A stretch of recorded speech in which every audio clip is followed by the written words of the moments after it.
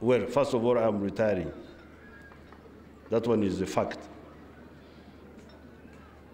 I need to retire in order to fight new battles. Now, I don't want to retire without showing you your brother African peoples who supported you. Welcome back to Wanapedia, your one-stop center for the history of Uganda. We are still at the event at which RO001 Yoweri Kaguta Museveni, formerly retired from the army, he had founded in 1981. At this point is when uh, the, the Minister of Defense, Amama Mbabazi, invited the president to speak.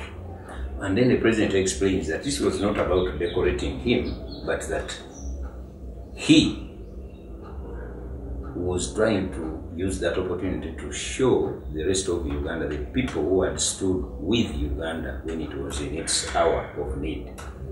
He also took opportunity to give a long lecture on the history of the army, which all students of the military and those interested in the affairs of this world should pay attention to. Only on Wanapedia, to which you are in danger if you have not yet subscribed. Let's go back to Bongo Army headquarters to witness this great speech, which began with General Tumwine's famous song, which the president called for. Kino kye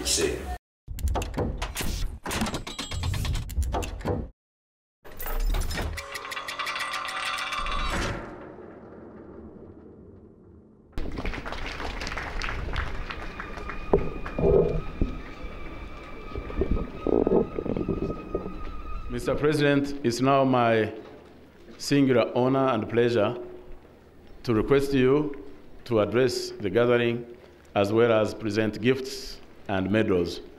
Before I make my speech, I want the band to first play kino kye kiseera mwe tulwanira tuwone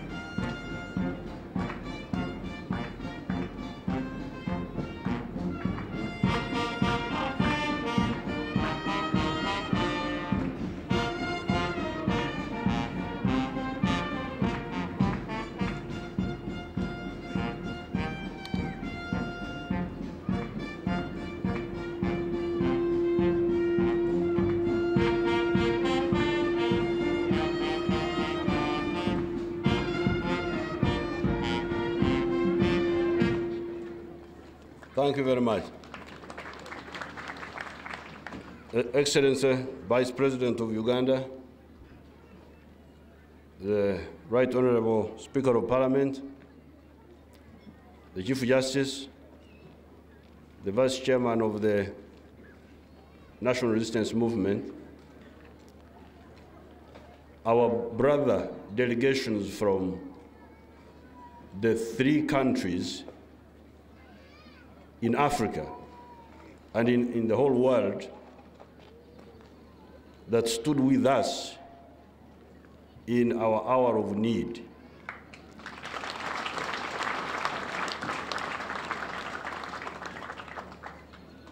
These days, I see, I see a lot of advisors and authorities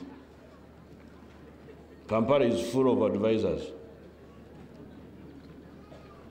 and authorities and ng- ngamanyas, the ones who know everything. When we needed salvation, nobody in Africa or in the world stood with us, except these three countries at different times.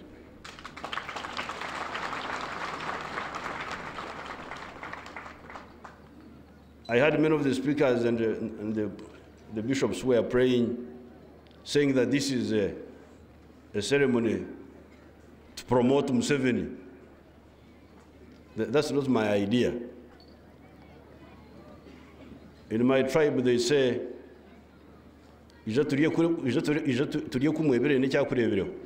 When somebody invites you for a meal, it is because he wants you to give him a meal in return.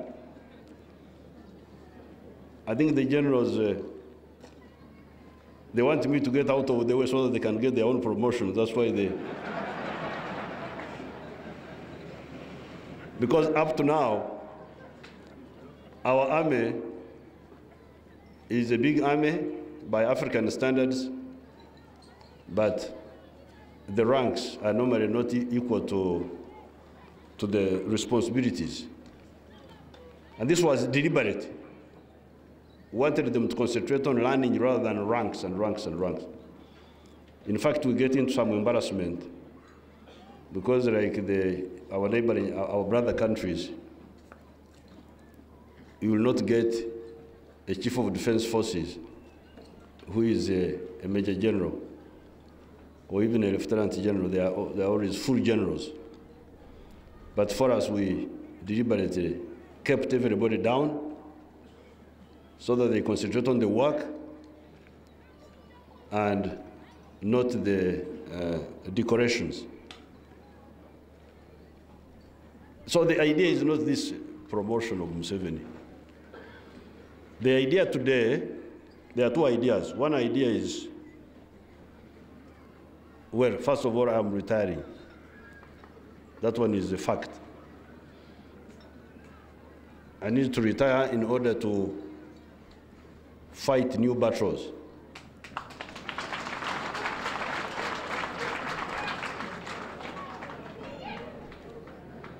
The, but the second and the most important is for me before I retire. That's why I invited delegations from these three countries. Because I have been there all the time from A to Z. There is no aspect of this struggle that I don't know. Now, I don't want to retire without showing you your brother African peoples who supported you.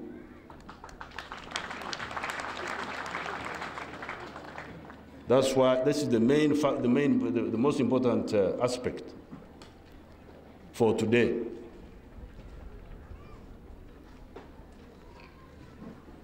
Otherwise, if it is promotion and all this, why invite all these people? It could be done just uh, within uh, ourselves. So the most important thing is I want you, before I retire, because there are so many authorities now. So many authorities on Africa. But in my tribe, they say, kurokura akaikuruka kumanya kakafwa it would be good that when you become a very important person all the old women who knew you when you were young died so that they don't talk about your terrible things you are doing when you were young. The problem is that there is an old woman here called Museveni who knows everything about all these fellows who are running around the foreigners, the what. So this is one aspect. I wanted to show you, you the young soldiers, all these big men, the vice presidents and all these big people, and um, MPs, honorable MPs. I wanted to show you people who stood by you. Because when you, I don't hear you, I don't hear you talking about them. You are talking about America, about uh, Britain, about European Union. There was no union with us. Maybe there is a European Union, but that union was not with Africa. So that's why I called these people here. The, my brother Ben Mkapa would have come, but he's sick. He has got a health problem. His leg is disturbing him. And because it was, uh, it was uh, when the, the, generals were talking about promotion, for me, I was busy dealing with some terrorists. So I did not concentrate on, on, the, on the issue. Uh, until about two, uh, about two weeks ago, when I, I thought that maybe we must invite our brothers to come here. So that's when I spoke to uh, Ben Mkapa. He, he wanted to come, but he, was, he had a, a, problem of his leg, which has been disturbing him. President Chissano already had a commitment in China. He, he was going to pay a visit to China. So that is the, or the second one, second point, other than the retirement. The song which I asked the band to play is a Luganda song, which was composed by the peasants in the struggle. I hear the young people singing Mozart, and I don't know who. But here in Luwero, we had our own composers. That song is a Luganda song, says, kino kye kiseera mwetulwanira mu biseera by'omu maaso tuwone amagombe. This is the time we must fight so that we save ourselves from dying. From dying. That's what that song is saying. And that, and that is the main theme of the resistance movement The people of Uganda are an ancient people that have been living under organized and centralized governments for millennia. At the time, the first Arab man to come here, a man called Ahmed bin Ibrahim, who came here in 1844. Our people were organized under four kingdoms. The kingdom of Buganda, kingdom of Bunyoro, kingdom of Toro, and kingdom of Nkore, and many chiefdoms like the ones of Busoga, Acholi, Lango, Mporo, etc. Many of these chiefdoms, like the ones of Busoga, had by this time linkages with Buganda. The chiefdoms of Acholi and Lango had linkages with Bunyoro, and the chiefdoms of Mporo had linkages with Nkore. Even the brother peoples that were put by colonial boundaries in other sister African states, such as those of Karagwe, Buhaya area in Tanz of Tanzania now, Bunya, Butembo areas in Congo, were either part of these four kingdoms or were allies or had some linkage with the other four kingdoms. In any case, the peoples of these areas, the Great Lakes area, either speak dialects that are close to each other or have got historical linkages, such as the linkages of the peoples of, of the people of Bunyoro and the people of Lango and Acholi, the difference of language notwithstanding. In fact, these languages got mixed by borrowing words from each other. In Luganda, Lunyankore Rusoga, Ruhaya, Ruhaya, this is a, a dialect which is spoken in, Tanz in, uh, in the Bukoba area of Tanzania. and Runyambo. This is also another, di- uh, another dialect in Tanzania. The verb for help, the verb for help, saidia, in Swahili. The verb these people use is kuyamba. When I, when I want help from you, I say obuyambi, nyamba, help me. However, the Runyoro Toro, a dialect spoken in Bunyoro, Toro, and Bunya in, in Congo, in DRC, a dialect that is otherwise very close to Luganda, Runyankore, etc. The verb for help is kukonyera, quite different. You'll hear um, um, a a Muganda saying kuyamba, to help, kuyamba. Munyankore, kuyamba. Musoga, kuyamba. These Bahaya, Ba- Banyambo people there, kuyamba, meaning to help. But a Munyoro Mtoro would say kukonyera, different verb. Now, these universities, they are learning about Chaucer. Chaucer, there is a, an Englishman who wrote a dead language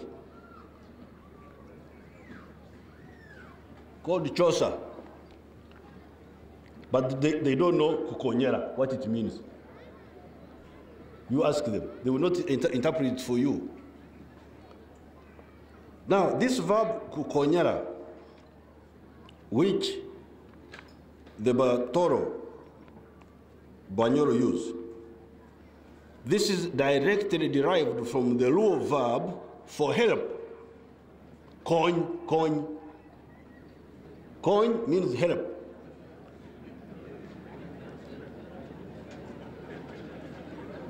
The Banyoro, Batoro, on account of close historical linkages with the Achoris and Langis, Bantunized, Bantunized the Luo verb coin into kukonyera.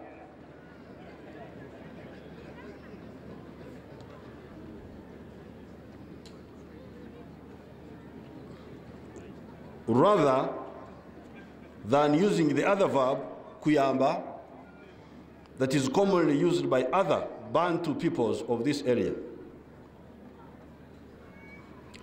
One of the Kabaka's entrances is called Wankaaki.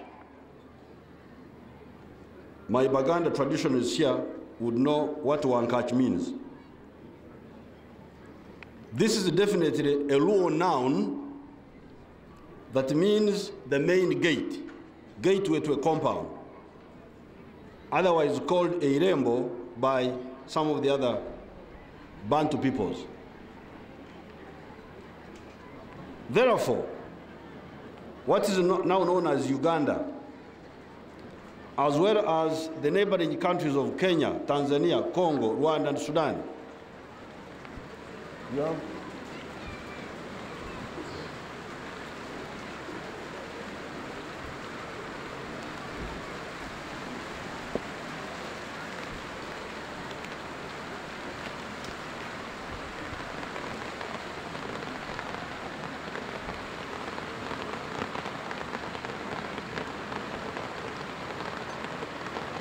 Have been populated for centuries or even millennia by either people with similar or close dialects and culture or a linked and shared history.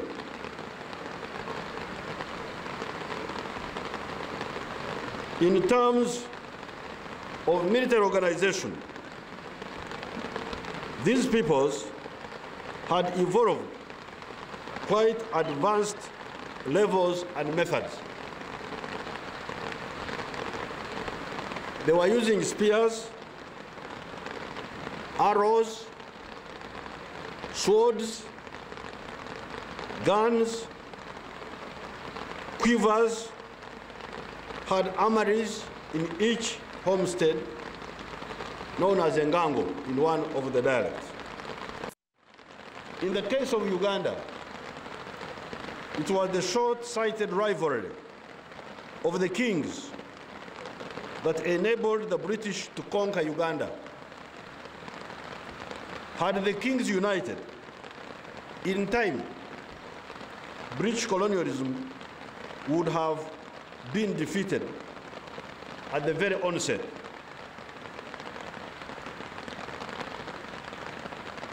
Captain Lugard also noted as follows.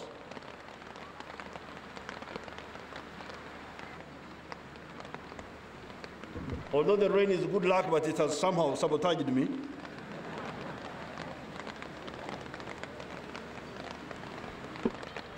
Because I wanted you to hear these words very carefully. Captain Lugard also noted as follows, in quotes,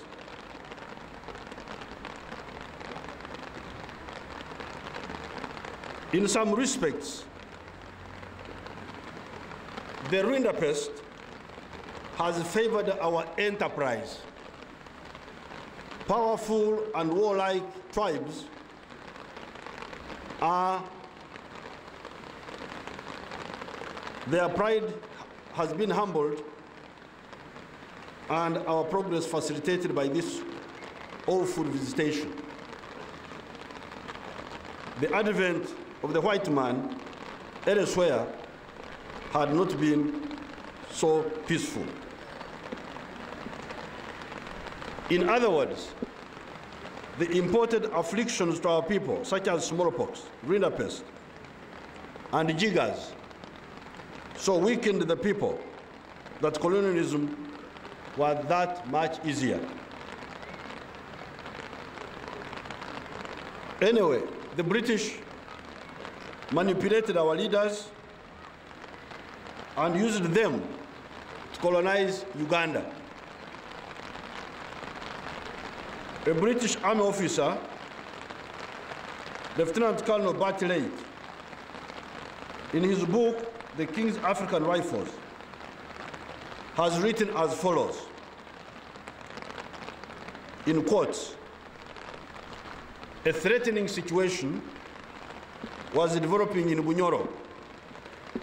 For Kabarega had taken, had taken the evacuation of the southern forts as a sign of weakness. He was rumored to have an army of 8,000 men equipped with fire, firearms and 20,000 spearmen. End of quote. Bartlett further writes, in quotes, on 13th December 1893,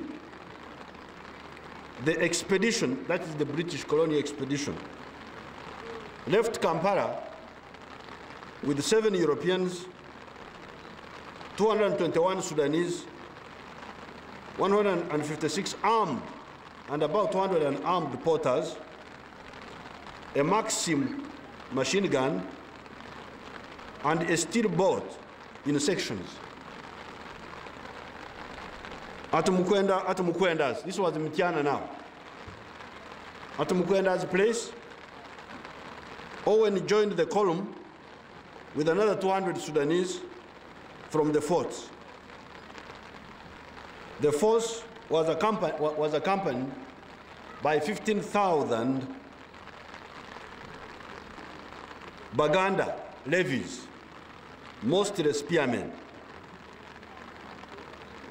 So, here you have a situation where seven Europeans are controlling almost 20,000 Africans from Buganda and some Sudanese mercenaries, and they are going to fight Kabarega in Bunyoro. That's how the British used the stupidity of the Africans to control them. He goes on to say, in quotes, on 25th February, two and a half companies from Hoima joined forces at Kungulu with two companies of, of Sudanese and 2,000 Baganda levies from Kampala for a combined attack on Kabarega's position across the Nile. By this time, Kabarega had crossed the Nile and gone into Lango. This was after about three, four years of war with the British. Because Kabarega fought the British for nine years here. When the troops approached the opposite bank, they found that the Nile was 1,100 yards wide, including the thick fringe of the papyrus. On 2nd March, the crossing was attempted in a fleet of native canoes covered from the bank by a Maxim gun. But so heavy was the fire from Kabarega's riflemen that the operation had to be abandoned.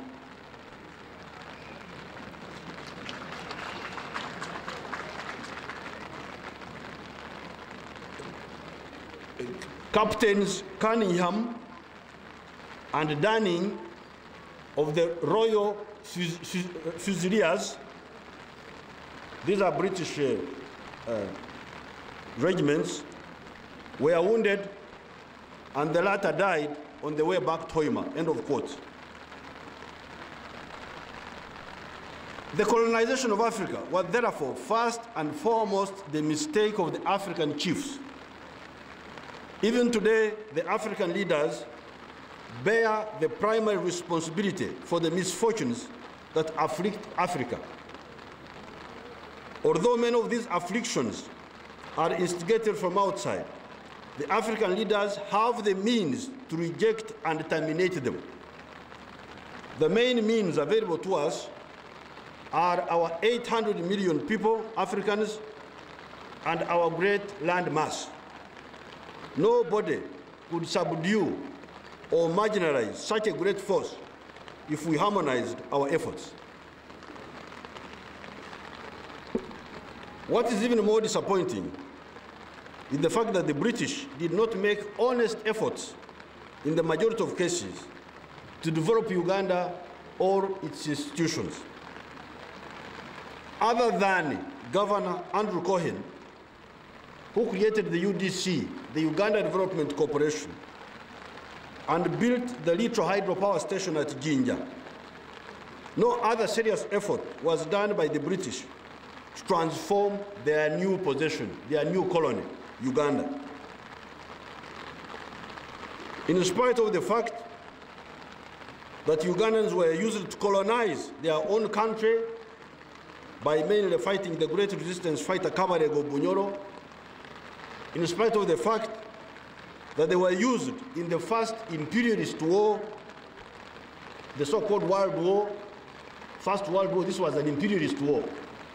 What were they fighting for? To redivide the world. Germany wanted a share of the colonial possessions which the other imperialists had. That's what caused the First World War. And the Second one, Second World War.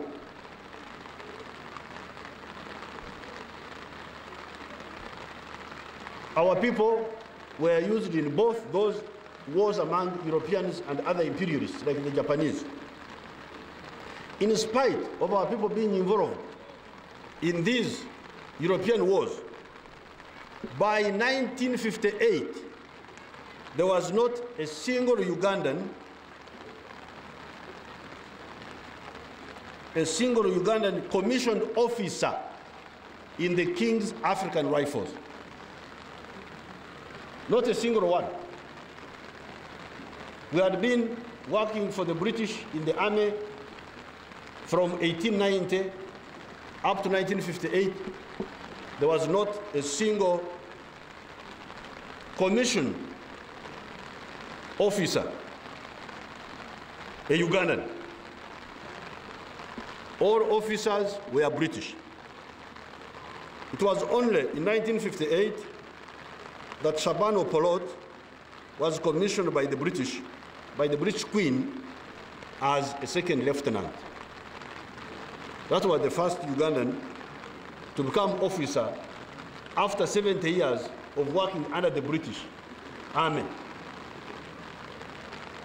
Soon after, Idi Amin was also commissioned. The first officer cadet of Uganda, Karugaba, only qualified at Sandhurst in 1962. Is it not amazing that after the British using our people to fight their colonialist and imperialist wars for more than 70 years, had not found it necessary to develop at least a few of them for leadership. And when they did, the best they could get was Idi Amin.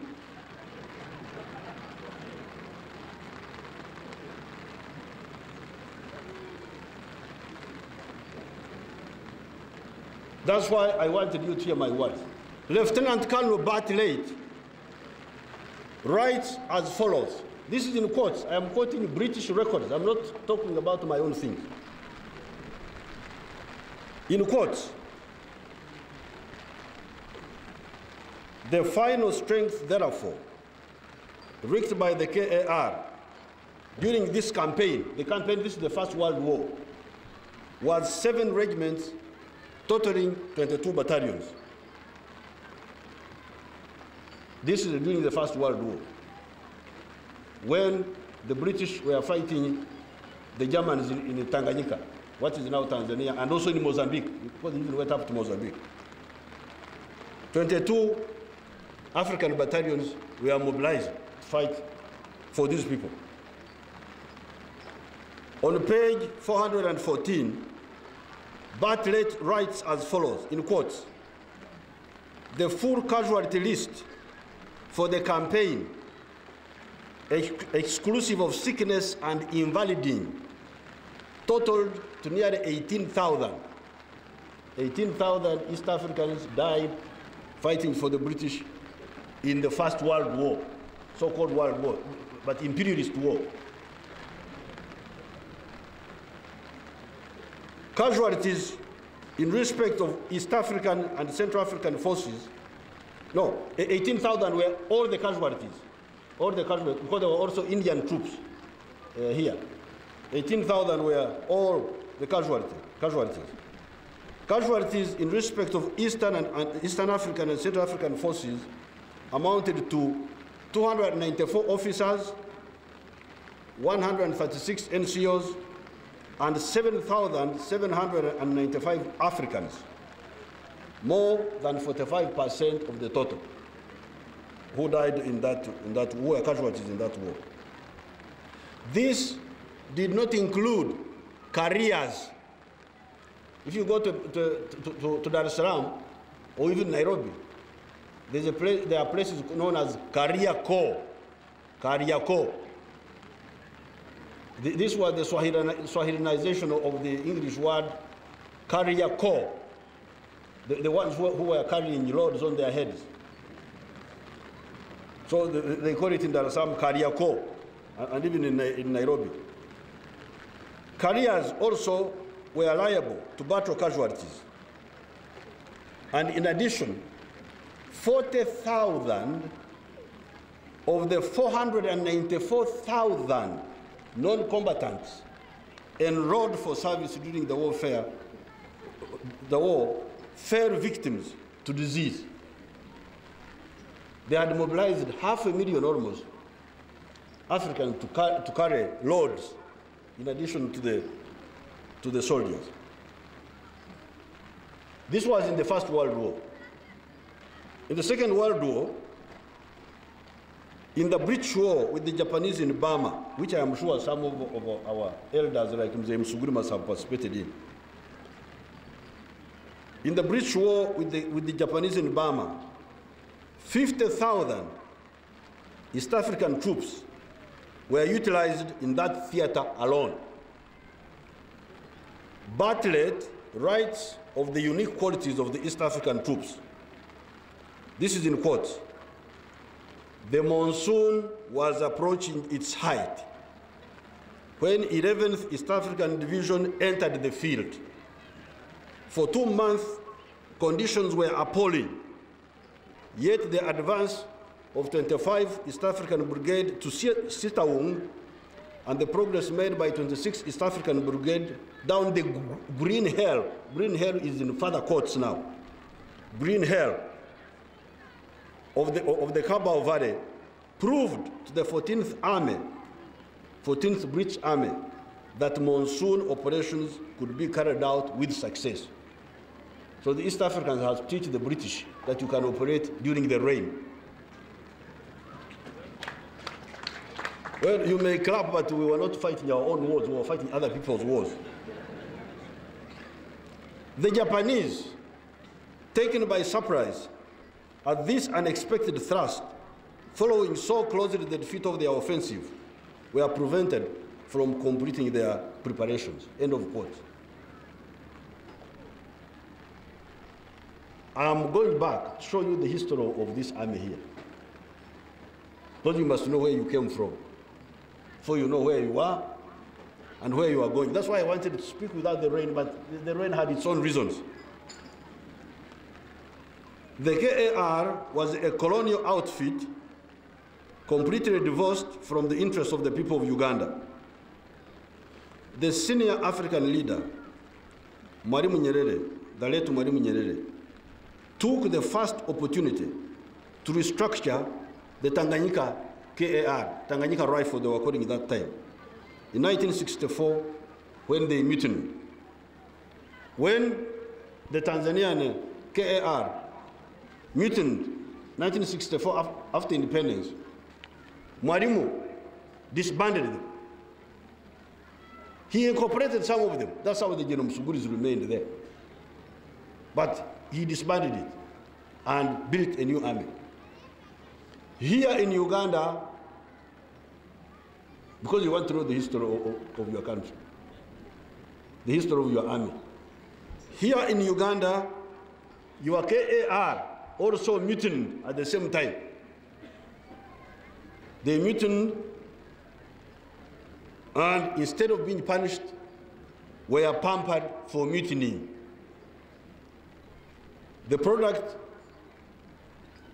they arrested the Minister of Defense, Felix Onama, put him in the guard room, and because of that, they were given a salary increase by Obote. The product of all this was monster Idi Amin. When you don't punish wrongdoing, you invite trouble. As a reward for arresting and confining to the guard room of Minister Onama, the Ugandan XKR soldiers were awarded salary increases. This was the beginning of Uganda's post-independence problems, emanating from the badly managed army.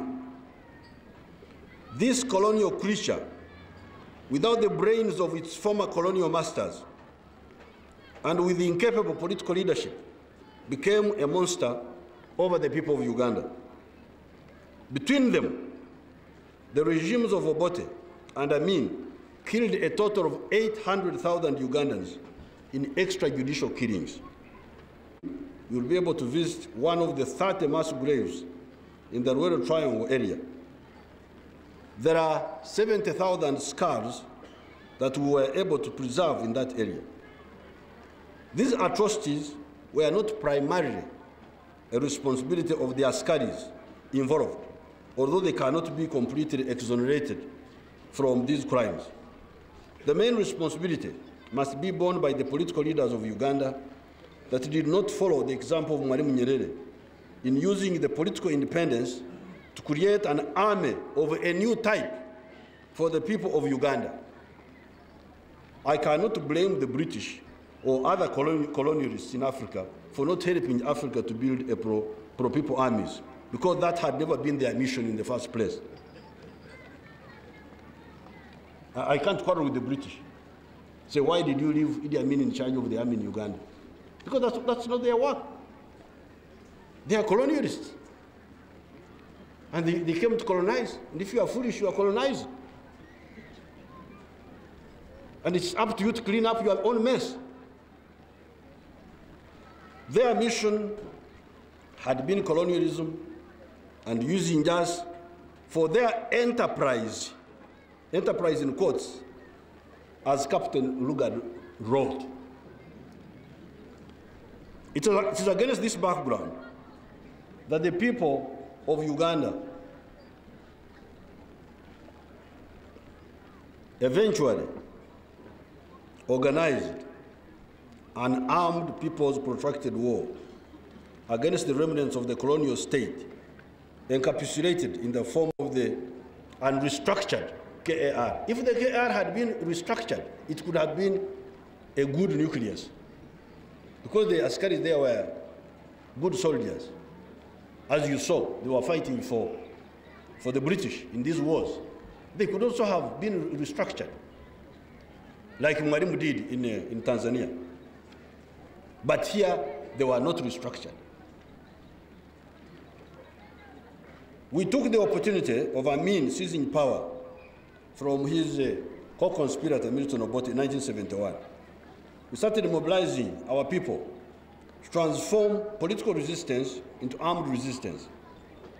In this, we were assisted by three African brother peoples, the people of Tanzania, the people of Mozambique, and eventually the people of Libya.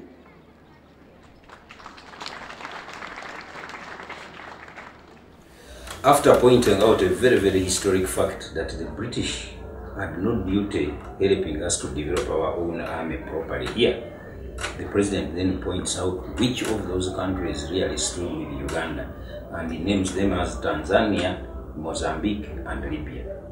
Indeed, as you will see later, the key players in that assistance later got decorated for their efforts. Only on Owanapaedia, your one-stop center for the history of this country and that of the rest of the world. Stay tuned for more.